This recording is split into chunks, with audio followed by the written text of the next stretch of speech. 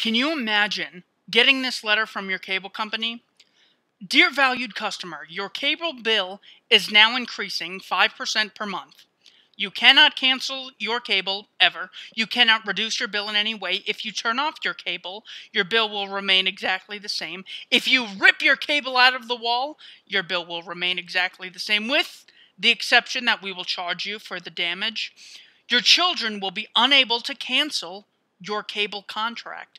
Also, please note that we will be reducing our delivery of channels by approximately one every month. As we deliver fewer channels, you can anticipate that your bill will sharply increase.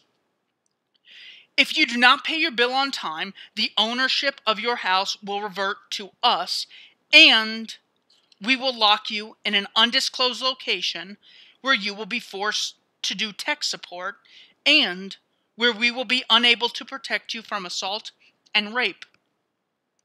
If you attempt to defend yourself when we come to take your house, we are fully authorized to gun you down. Sincerely, the statist cable company.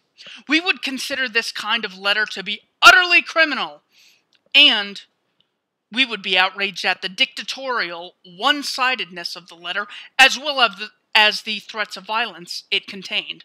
Unfortunately, this is exactly the kind of communication that we get from our governments all the time. And in many ways, it is not unrelated to the kind of non negotiated dictums that we received from our teachers when we were children.